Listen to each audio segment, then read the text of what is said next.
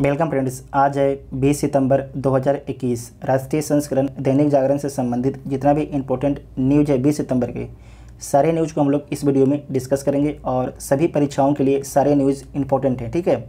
तो पहला बड़ा न्यूज़ है, रंजीत चन्नी, रंजीत सिंह चन्नी होंगे पंजाब के नए कैप्टन जो रंजीत सिंह चन्नी होंगे, पंजाब के नए सीएम होंगे, ठीक है? इसका पहले पंजाब के सीएम कौन थे? तो अमरिंदर सिंह थे, ठीक है? अमरिंदर सिंह। अमरिंदर सिंह, इनके द्वारा इस्तीफ़ा दे दिया गया है। और इस्तीफ़ा किसे सौंपा गया? तो बनवारी लाल पुरोहित को। बनवारी लाल पुरोहित कौन है? तो ये पंजाब के राज्यपाल हैं, ठीक है? तो जो नए सीएम कौन बनेंगे? जो नए सीएम बनेंगे, रंजीत सिंह चन्नी चन्नी, रंजीत सिंह चन्नी जो है पंजाब के अब नए सीएम बनेंगे। इनको आज शपथ दिलाया जाएगा ग्यारह बजे बनवारी लाल पुरोहित के द्वारा। साथ में आपको याद रखना है कि जो अमरिंदर सिंह है इनके बारे में याद रखिएगा। कैप्टन अमरिंदर सिंह जो है, कार्यकाल पूरा नहीं कर पाने वाले ये पंजाब के बारहवें मुख्यमंत्री नोट कर लीजिएगा इंपॉर्टेंट है, ठीक है? उसके बाद जो पंजाब है, पंजाब की राजधानी कहाँ पर है? तो चंडीगढ़ आपके पंजाब की राजधानी है, चंडीगढ़, ठीक है? चंडीगढ़ जो आपके, चंडीगढ़ की भी राजधानी है, चंडीगढ़ आपकी केंद्र शासित प्रदेश है। उसके बाद चंडीगढ़ जो है, हरियाणा की भी राजधानी है, ठीक है? हरियाणा की भी राजधानी है। तो पंजाब की राजधानी चंडीगढ़ चंडीगढ़ की राजधानी, चंडीगढ़, हरियाणा की राजधानी चंडीगढ़, ठीक है? उसके बाद जो पंजाब है, ये पंजाब इसका गठन कब होता है? तो इसका गठन होता है एक नवंबर एक नवंबर उन्नीस सौ छियासठ को, ठीक है? एक नवंबर उन्नीस सौ छियासठ को इसका गठन होता है और पंजाब के विधानसभा में कितने सीट हैं? तो 117 हैं और राज्यसभा में सात हैं और लोकसभा में तेरह सीट हैं, ठीक है? उसके बाद जो पंजाब में कितने डिस्ट्रिक्ट हैं? तो पंजाब में तेईस डिस्ट्रिक्ट हैं, ठीक है? तेईस डिस्ट्रिक्ट हैं। उसके बाद आपको याद रखना है कि पंजाब की जो सीमा है, किन किन राज्यों से लगती है? तो सबसे पहले आपको याद रखना है कि पंजाब की सीमा जो है, एक अंतर्राष्ट्रीय देश पाकिस्तान से लगती है, ठीक है? पाकिस्तान से लगती है। पहला हो गया। दूसरा आपको याद रखना है कि राजस्थान, हरियाणा और जम्मू कश्मीर, ठीक है? जम्मू कश्मीर इसे नोट कर लीजिएगा। उसके बाद आपको नोट करना है कि पाकिस्तान की सीमा जो है, भारत के किन किन राज्यों से लगती है? तो पहला है गुजरात, दूसरा है राजस्थान, तीसरा है पंजाब चौथा है, जम्मू कश्मीर ये केंद्र शासित प्रदेश है और पाँचवा है लद्दाख, ठीक है? लद्दाख, इसकी भी सीमा लगती है पाकिस्तान से, इतना आप सभी को याद रखना है, ठीक है? उसके बाद नेक्स्ट न्यूज़ है, अदालत में स्थगन से हम पर पड़ रहा अनावश्यक बोझ, सुप्रीम कोर्ट के द्वारा बोला गया तो सुप्रीम कोर्ट के वर्तमान में मुख्य न्यायाधीश कौन है?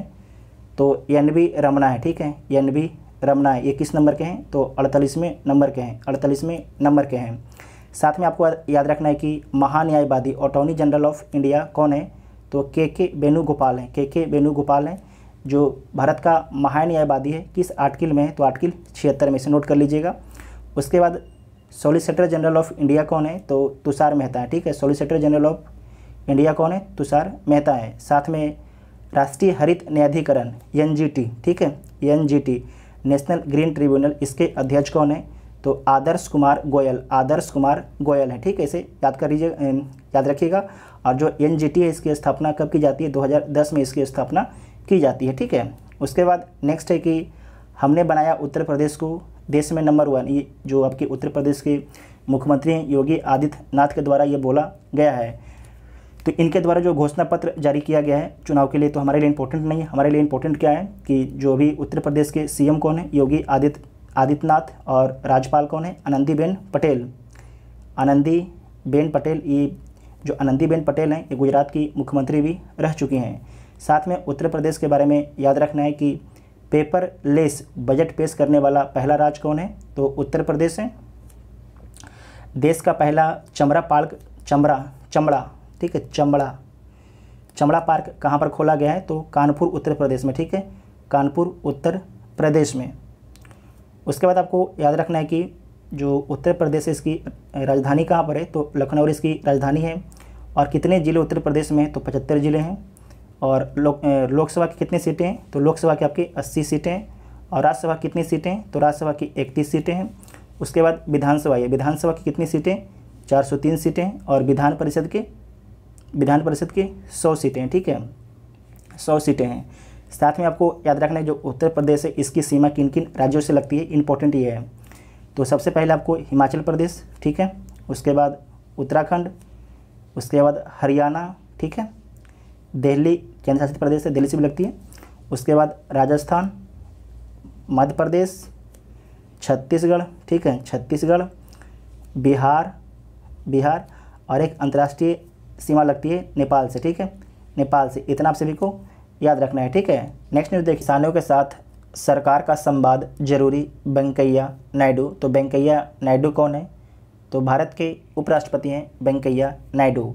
साथ में वेंकैया नायडू ने बोला कि राष्ट्रपति ने तीन कृषि सुधारों कानूनों की वकालत की और इनके द्वारा तर्क दिया गया कि अटल बिहारी वाजपेयी, चौधरी चरण सिंह और देवी लाल भी जो चाहते थे कि किसान जो है कहीं भी अपना फ़सल बेच सके, किसी भी मंडी में जाके अपना फ़सल बेच सके। तो हमें जानना है जो अटल बिहारी वाजपेयी हैं, इनका जन्म कहाँ पर हुआ था?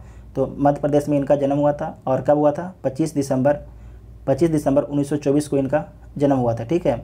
और इनकी मृत्यु कब हुई थी? तो इनकी मृत्यु जो है 16 अगस्त 2018 को इनकी मृत्यु हुई थी। और आपको याद रखना है कि जो अटल बिहारी वाजपेयी हैं, तीन बार भारत के प्रधानमंत्री रहते हैं। तीन बार भारत के प्रधानमंत्री रहते हैं, एक बार उन्नीस सौ छियानवे में, उन्नीस में, उसके बाद उन्नीस से 2004 तक, ठीक है? प्रधानमंत्री रहते हैं, तीन बार प्रधानमंत्री रहते हैं।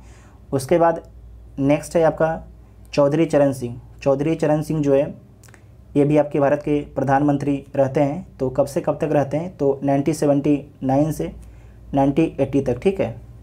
तो एक बार आपके भारत के प्रधानमंत्री रहते हैं। उसके बाद नीचे हैं देवी लाल ठीक है, जो देवी लाल हैं, इनको बोला जाता है ताऊ देवी लाल। ये हरियाणा के हैं, ताऊ देवी लाल। और इनके बारे में याद रखिएगा कि ये आपके भारत के उप प्रधानमंत्री रहे हैं। भारत के उप प्रधानमंत्री रहे हैं और भारत के उप प्रधानमंत्री कब से कब तक रहे हैं? तो उन्नीस सौ नवासी से उन्नीस इक्यानवे तक रहे हैं। इतना आप सभी को इनके बारे में याद रखना है, ठीक है? उसके बाद आपको याद रखना है कि जो वेंकैया नायडू हैं, राज्यसभा के हैं।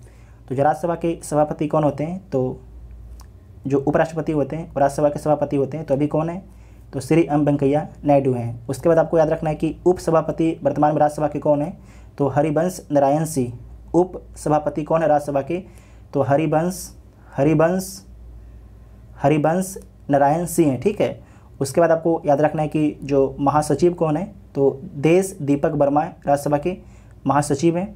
साथ में नेता विपक्ष के, नेता कौन है राज्यसभा में? तो मल्लिका अर्जुन खड़गे हैं। और नेता सत्ता पक्ष के जो जो सत्ता पक्ष के नेता कौन है? राज्यसभा में तो पीयूष गोयल हैं, ठीक है? पीयूष गोयल, इतना पॉइंट आपको लिख लेना है। उसके बाद नेक्स्ट है कि मोटे अनाज का प्रमुख उत्पादक देश बनता जा रहा है भारत। ये तोमर के द्वारा बोला गया है। तोमर कौन है? तो तोमर हमारे कृषि मंत्री हैं, ठीक है? इसमें आपको याद रखना है कि यूनाइटेड नेशन यूनाइटेड नेशन ने जो है अंतर्राष्ट्रीय मोटे अनाज वर्ष किस वर्ष घोषित किया है? 2023 को जो है यूनाइटेड नेशन के द्वारा जो है अंतर्राष्ट्रीय मोटे अनाज वर्ष घोषित किया गया 2023 को। साथ में आपको याद रखना है कि यूनाइटेड नेशन द्वारा 2021 को जो है फलों एवं सब्जियों का अंतर्राष्ट्रीय वर्ष घोषित किया गया है। 2022 को क्या घोषित किया गया है यूनाइटेड नेशन के द्वारा? तो आपको याद रखना है कि मत्स्य एवं एक्वाकल्चर वर्ष घोषित किया गया है यूनाइटेड नेशन के द्वारा 2022 को। इतना आप सभी को याद रखना है, ठीक? नेक्स्ट न्यूज़ है कि अब स्वदेशी कंपनियाँ बनाएँगी सेटेलाइट ले जाने वाले रॉकेट। इसका पहले क्या था कि सिर्फ़ जो रॉकेट बनाती थी, इसरो बनाती थी, ठीक है? सिर्फ़ रॉकेट इसरो बनाती थी, लेकिन अब भारत सरकार ने निर्णय लिया है कि जो प्राइवेट प्लेयर हैं, वो भी मैदान में आवे जैसे कि अमेरिका में आप देख रहे हैं स्पेस एक्स कितना आगे चला गया है, उसे नासा का सपोर्ट है। उसी प्रकार से भारत भी चाहता है कि प्राइवेट प्लेयर आवे और इसरो जो है और भी काम देखे। तो इसमें आपको याद रखना है कि जो बोला गया है कि जो प्राइवेट प्लेयर हैं वह G S L V mark three और P S L V develop करेंगे। G S L V mark three का फुल फॉर्म क्या होता है? तो G S L V mark three का फुल फॉर्म होता है। Geo synchronous satellite launch vehicle जबकि जो पी एस एल वी है पी एस एल वी इसका फुल फॉर्म क्या होता है? पोलर सेटेलाइट लॉन्च व्हीकल इसका फुल फॉर्म होता है। इसमें आपको याद रखना है, जो जो प्राइवेट प्लेयर होंगे, इसमें वेल है, जो भेल सरकारी कंपनी है, और इसमें और भी प्राइवेट प्लेयर इसमें शामिल होंगे। इसमें आपको याद रखना है कि इसरो इसरो के बारे में आपको याद रखना है, जो इसरो है, इसका फुल फॉर्म क्या होता है तो इंडियन स्पेस रिसर्च ऑर्गेनाइजेशन इसका फुल फॉर्म होता है, और इसकी स्थापना कब की गई थी तो 15 अगस्त 1969 को 15 अगस्त 1969 को इसकी स्थापना की गई थी। इसका हेडक्वार्टर कहाँ पर है तो बेंगलुरु में इसका इसका हेडक्वार्टर है, ठीक है, बेंगलुरु में इसका हेडक्वार्टर है, और इसके संस्थापक कौन थे, इसरो के तो इसके संस्थापक थे विक्रम अम्बालाल साराभाई। विक्रम अम्बालाल साराभाई, ठीक है? साथ में आपको याद रखना है कि जो इसरो अपना सैटेलाइट कहाँ से लॉन्च करता है तो सतीश धवन अंतरिक्ष केंद्र श्रीहरिकोटा से, ठीक है? सतीश सतीश सतीश धवन अंतरिक्ष केंद्र, ठीक है? सतीश धवन अंतरिक्ष केंद्र श्रीहरिकोटा, आंध्र प्रदेश से, ठीक है? आंध्र प्रदेश से। उसके बाद आपको याद रखना है कि वर्तमान में जो इसरो के अध्यक्ष कौन है तो के सिवन है। के सिवन वर्तमान में इसरो के अध्यक्ष हैं, ठीक है? उसके बाद आपको याद रखना है कि भारत का पहला उपग्रह कौन है? तो भारत का जो पहला उपग्रह है, आर्यभट्ट है। इसे नोट कर लीजिएगा इंपॉर्टेंट है। आर्यभट्ट है। और किस देश के सहयोग से लॉन्च किया गया था? तो सोवियत संघ के सहयोग से लॉन्च किया गया था। और कब लॉन्च किया गया था? तो 19 अप्रैल 1975 को। 19 अप्रैल 1975 को। इतना आप सबको याद रखना है, ठीक है? उसके बाद नेक्स्ट न्यूज़ है सीडीएस बनने के बाद। पहली विदेश यात्रा पर रूस जाएँगे जनरल रावत। जो ये लाइन है पहला, कि सीडीएस बनने के बाद जो है, पहली विदेश यात्रा पर रूस जाएँगे जनरल। तो आपसे जनरल रावत, ये क्वेश्चन पूछा जाएगा कि जब बिपिन रावत सीडीएस बने तो इनकी पहली कौन सी देश का दौरा रहा? तो रसिया का दौरा रहा, ठीक है? रूस का दौरा रहा। और किस लिए जा रहे हैं? तो जो एससीओ, ये संघाई सहयोग संगठन है, जिसमें आठ मेंबर हैं, इनके जो समकक्ष हैं सीडीएस हैं, बाकी जो आठ कंट्री हैं, उनके सीडीएस से मिलने के लिए जा रहे हैं भारत के सीडीएस जनरल बिपिन रावत ठीक है? जो जनरल बिपिन रावत हैं, इनकी नियुक्ति कब हुई थी? तो 31 दिसंबर 2019 को इनकी नियुक्ति की गई थी। इतना आप सभी को याद रखना है, ठीक है? उसके बाद नेक्स्ट न्यूज़ देखिए। बंगाल में ढह गई संवैधानिक व्यवस्था, राज्यपाल। तो राज्यपाल कौन है बंगाल के? तो बंगाल के जो राज्यपाल हैं, उनका नाम है जगदीश धनखड़। जो बंगाल है, बंगाल के मुख्यमंत्री कौन है? तो ममता बनर्जी, ठीक है? ममता बनर्जी हैं। साथ में आपको याद रखना है कि जो राज्य हैं, राज्य में राष्ट्रपति शासन किस अनुच्छेद के तहत लगाए जाते हैं तो आर्टिकल तीन सौ छप्पन के तहत जो है, राज्य में राष्ट्रपति शासन लगाए जाते हैं। और कारण क्या होता है? तो अगर राज्यपाल राष्ट्रपति को संस्तुति दें कि राज्य में जो है, संवैधानिक तंत्र विफल हो गया मतलब जो संवैधानिक संस्थाएँ हैं, संविधान के हिसाब से काम नहीं कर रही है तो राष्ट्रपति जो है, आर्टिकल तीन सौ छप्पन के तहत राज्य में राष्ट्रपति शासन लगा सकते हैं, ठीक है? उसके बाद आपको याद रखना है जो यहाँ पर विवाद है, विवाद किस चीज़ के लिए है? तो हमें देखना है वित्त आयोग। तो वित्त आयोग क्या है? तो जो वित्त आयोग है, एक संवैधानिक निकाय है। लिख लीजिएगा। एग्ज़ाम में पूछा जाता है कि जो वित्त आयोग क्या है? संवैधानिक है, कानूनी है, क्या है? तो जो वित्त आयोग है, संवैधानिक निकाय है और इसका गठन जो है संविधान के किस अनुच्छेद के तहत होता है तो इसका गठन जो है संविधान के दो सौ अस्सी अनुच्छेद के तहत होता है, दो अस्सी अनुच्छेद के तहत होता है, ठीक है? जो वित्त आयोग होता है, उसका काम, उसका दायित्व क्या होता है? तो जो वित्त आयोग होता है, उसका काम होता है कि संघ एवं राज्यों की वित्तीय स्थिति का मूल्यांकन करना, संघ और राज्य के वित्तीय स्थिति का मूल्यांकन करना, ठीक है? उनके बीच करों के बंटवारे की संस्तुति करना स्टेट एवं सेंटर के बीच जो है, करों के बंटवारे की संस्तुति करना तथा राज्यों के बीच इन करों के वितरण हेतु सिद्धांतों का निर्धारण करना वित्त आयोग का काम होता है, ठीक है? उसके बाद आपको याद रखना है कि जो प्रथम वित्त आयोग है, इसकी गठन कब की गई थी? तो जो प्रथम वित्त आयोग है, उसकी गठन उन्नीस सौ इक्यावन में की गई थी। जो वित्त आयोग होता है, उसका गठन किसके द्वारा किया जाता है? तो भारत के राष्ट्रपति के द्वारा, ठीक है? भारत के राष्ट्रपति के द्वारा। वर्तमान में पंद्रहवें वित्त आयोग का गठन कब किया गया? तो 27 नवंबर 27 नवंबर 2000 सत्रह को, ठीक है? और पंद्रहवें वित्त आयोग के अध्यक्ष कौन है? तो एन के सिंह है। एन के सिंह, एन के सिंह है, ठीक है? जो वित्त आयोग के अध्यक्ष होता है, उसकी नियुक्ति किसके द्वारा की जाती है? तो भारत के राष्ट्रपति के द्वारा इसकी नियुक्ति की जाती है।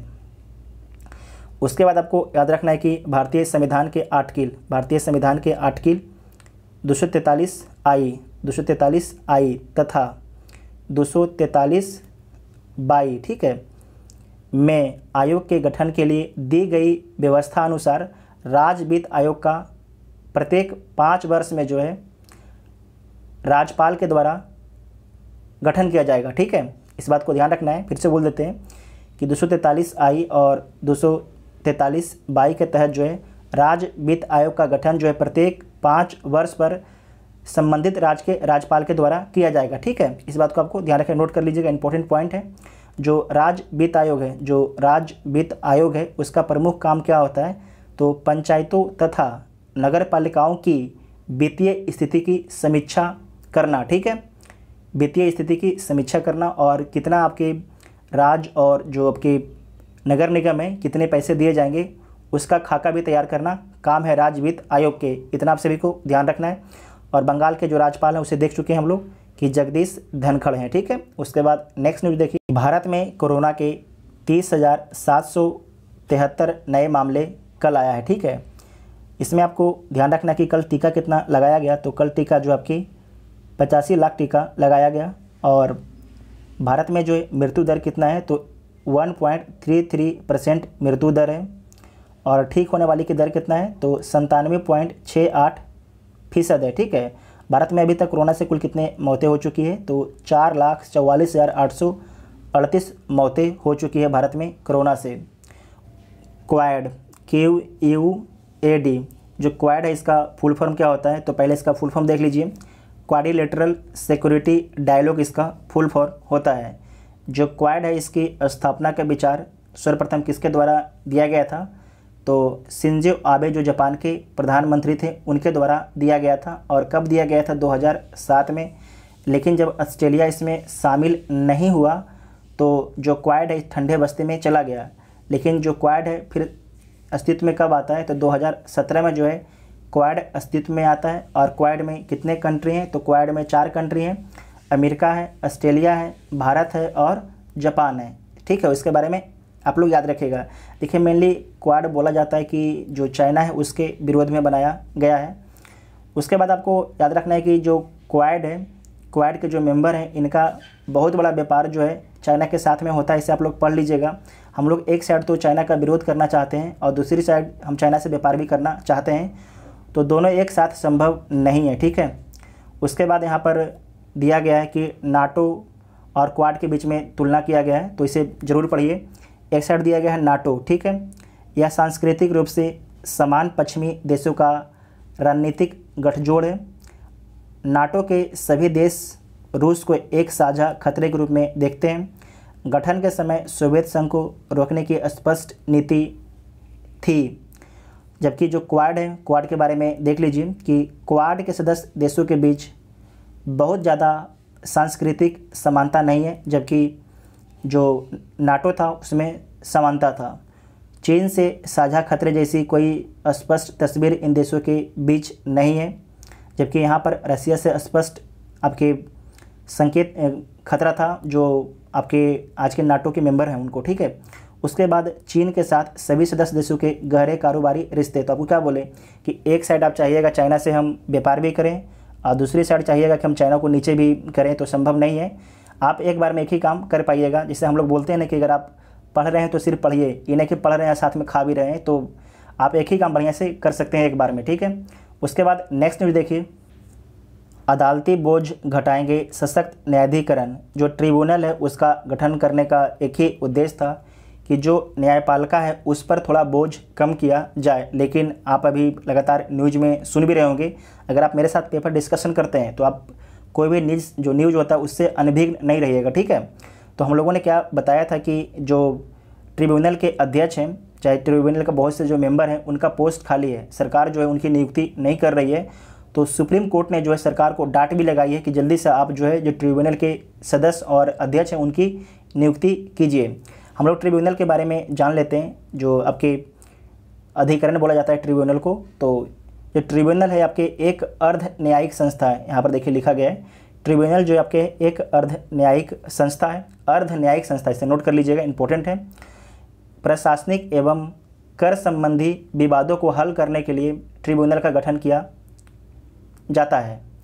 संविधान में जो है ट्रिब्यूनल का उल्लेख किया गया है, और किस आर्टिकल में ट्रिब्यूनल का उल्लेख किया गया है तो आर्टिकल आर्टिकल तीन सौ तेईस ए में जो है, ट्रिब्यूनल का उल्लेख किया गया है। इसमें बताया गया है आर्टिकल तीन सौ तेईस ए में कि प्रशासनिक अधिकारों से संबंधित जो है, ट्रिब्यूनल की नियुक्ति की जा सकती है, जहाँ पर प्रशासनिक काम देखा जाएगा ट्रिब्यूनलों के द्वारा। उसके बाद है कि जो आर्टिकल तीन सौ तेईस बी, इसमें बोला गया कि ट्रिब्यूनल गठन जो है, और भी मामले के लिए किया जा सकता है। जैसे कि यहाँ पर तो हम लोग सिर्फ़ देखें आपके प्रशासनिक और कर संबंधी, लेकिन आगे देखिए, और मामले के लिए, जैसे कि श्रम के लिए भी हम लोग कर सकते हैं, भूमि सुधार के लिए भी ट्रिब्यूनल का गठन कर सकते हैं, और भी मामले के लिए ट्रिब्यूनल का गठन कर सकते हैं, ताकि जो जल्दी सा जो हमारे जनता है, जो केस करती है, उनको जल्दी सा न्याय मिल सके, ठीक है? साथ में आपको ध्यान रखना है कि, लेकिन सरकार क्या कर रही है कि ट्रिब्यूनल में हम तो चाह रहे हैं कि केस कम हो जाए, लेकिन सरकार अगर न्यायाधीश की नियुक्ति ही नहीं करेगी, उनके कर्मचारी की नियुक्ति ही नहीं करेगी तो जो केस कम होने के बजाय लगातार हमारे जो कोर्टें हैं, वहाँ पर केस बढ़ती चली जाएगी। एक तो ऐसा ही हमारे कोर्ट के जो कोर्ट है, उन पर बहुत ज़्यादा केसों का दबाव है, ठीक है? उसके बाद नेक्स्ट न्यूज़ देखिए। भारतीय अर्थव्यवस्था मज़बूत आता रहेगा। विदेशी निवेश, नीलेश शाह। नीलेश शाह कौन है? तो Kotak Mahindra asset management company के ग्रुप प्रेसिडेंट और एमडी हैं, नीलेश शाह। इनके द्वारा बोला गया है कि तीस वर्षों में, तीस वर्षों में जो है, विदेशी निवेशकों ने दस पॉइंट पाँच ज़ीरो लाख करोड़ का निवेश भारत के इक्विटी बाज़ार में किया है, इक्विटी बाज़ार में किया है।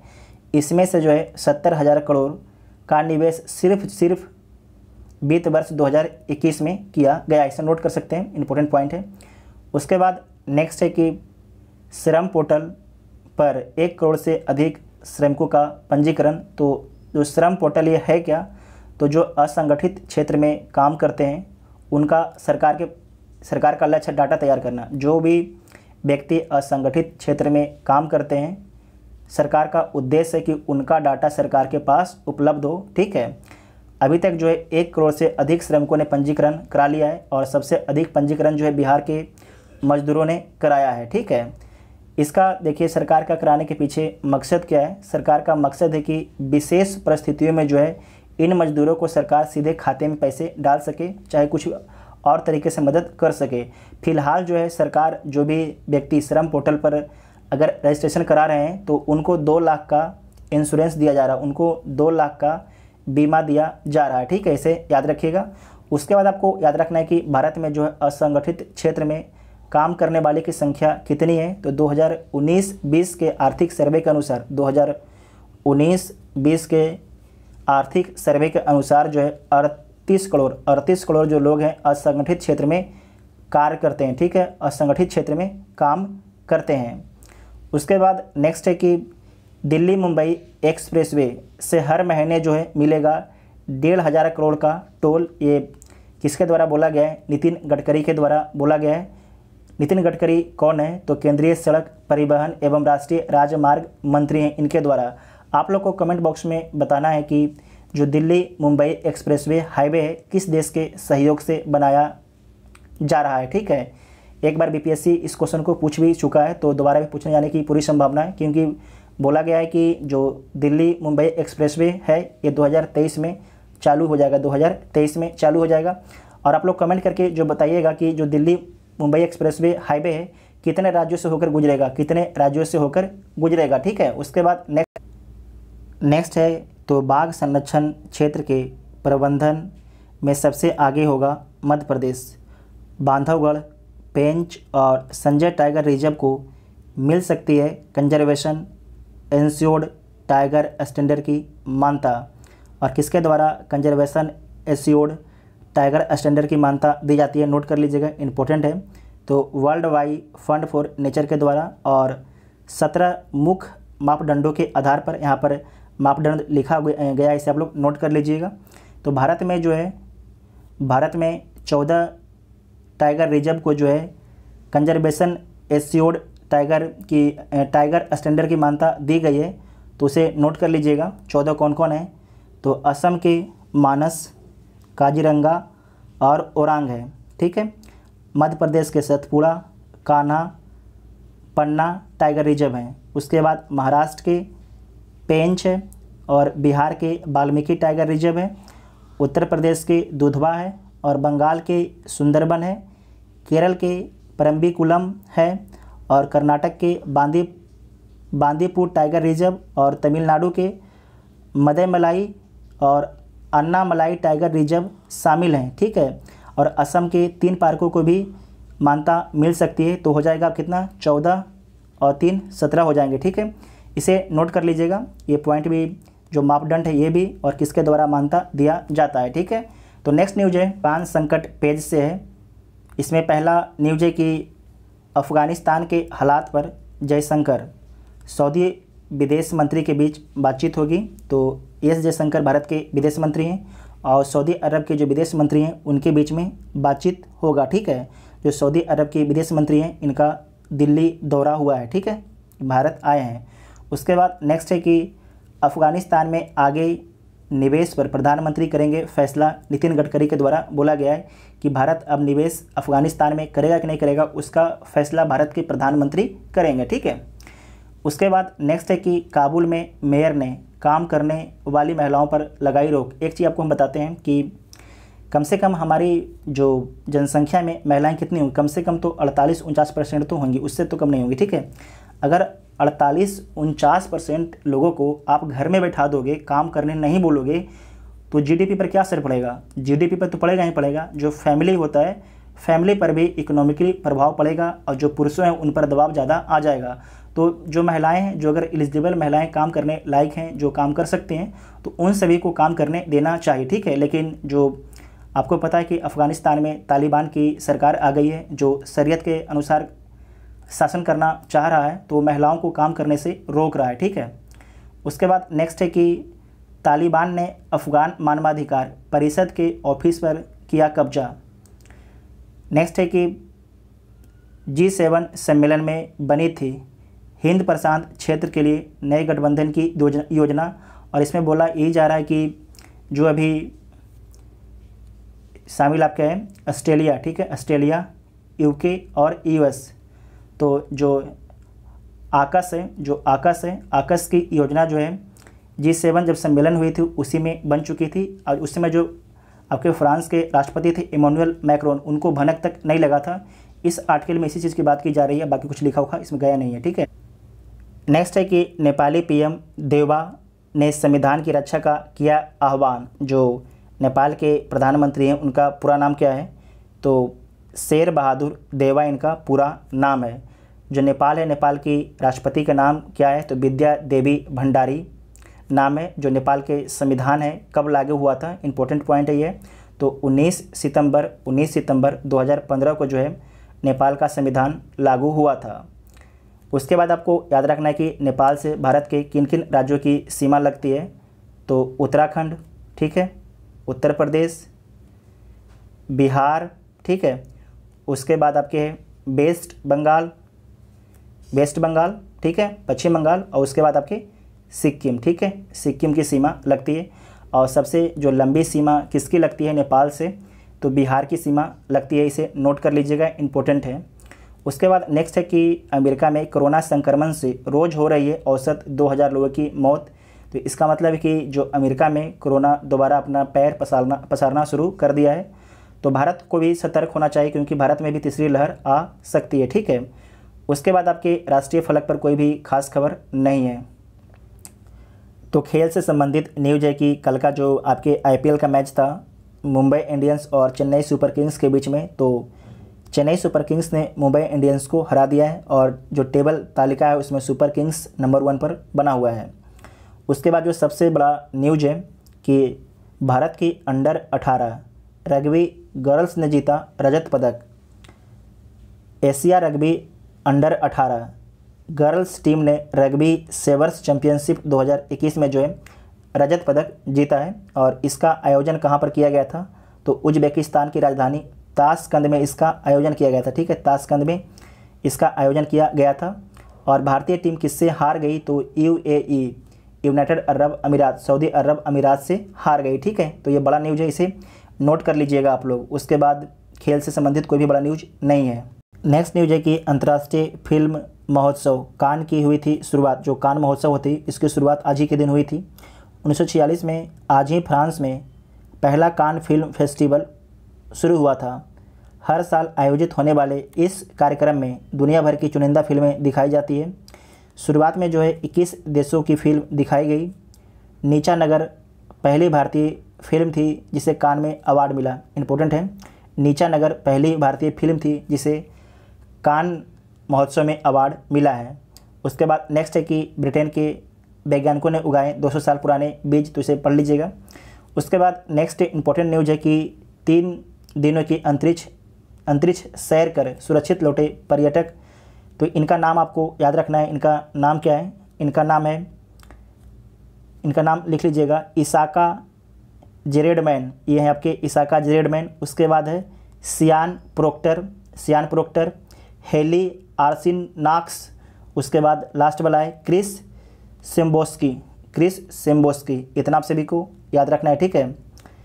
जो इनके द्वारा है लैंड कर दिया गया है तो कहाँ पर इन लोग लैंड किए हैं? तो फ्लोरिडा जो तट है, वहाँ पर इन लोगों ने सुरक्षित लैंड किया है, ठीक है? तो उसके बाद नीचे बच्चों की नींद से लेकर रहे सतर्क तो आप लोग इसे पढ़ लीजिएगा, उसके बाद कोई इंपॉर्टेंट न्यूज़ है नहीं, और नीचे आपकी है खट्टी मीठी खबर है तो इसे आप लोग खुद पढ़ लीजिएगा, ठीक है?